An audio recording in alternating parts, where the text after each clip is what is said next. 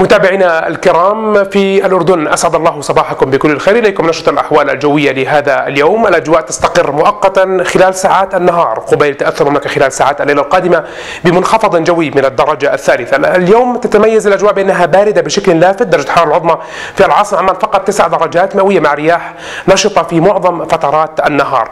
خلال ساعات المساء والليل يتوقع أن يتزايد تأثر المملكة بهذا المنخفض الجوي المصنف بأنه من الدرجة الثالثة بحيث يتوقع بمشيئة الله تعالى تعبر المملكة مع ساعات المساء والليل جبهة هوائية باردة تعنى تحول الأجواء تصبح باردة وغائمة وماطرة بدءا من المناطق الشمالية من المملكة.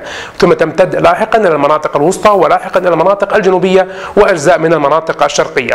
هذه الأمطار قد تكون غزيرة أحيانا ومصحوبة بحدوث الرعد وتساقط لزخات من البرد. في وقت لاحق من ساعات الليل يتوقع أيضا أن تصبح هناك تساقطات على شكل أمطار مخلوطة بالثلوج فوق بعض المرتفعات الجبلية كما يبدأ تساقط ثلجي متوقع فوق المرتفعات الجبلية العالية التي يزيد ارتفاعها عن 1200 متر عن سطح البحر في ساعات فجر يوم الأربعاء. دعونا الآن نتعرف درجات الحرارة العظمى المتوقعة اليوم والصغرى الليلة القادمة والتي سنبدأها في هذه الجولة من المناطق الشمالية من المملكة.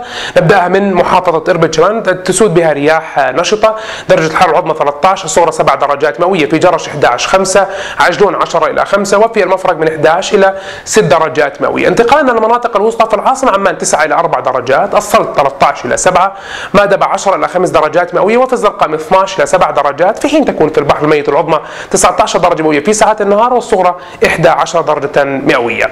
انتقالنا للمناطق الجنوبية من المملكة تكون في الكرك 7 3 الطفيلة 10 4 معان 11 5 في جبال الشرى من 8 إلى درجتين مئويتين وفي العقبة من 19 إلى 12 درجة مئوية. نختم هذه الجولة من المناطق الشرقية تكون في الوجه 13 6 وفي الصفاوي 13 5 وفي الأزرق من 14 إلى 6 درجات مئوية. تابعونا في المزيد من النشرات لنهار هذا اليوم للحديث عن توقعات الأحوال الجوية ليوم غد وفرص ومناطق تساقط الثلوج في المملكة دائما أتمنى لكم نهار سعيد أينما كنتم دمتم بخير.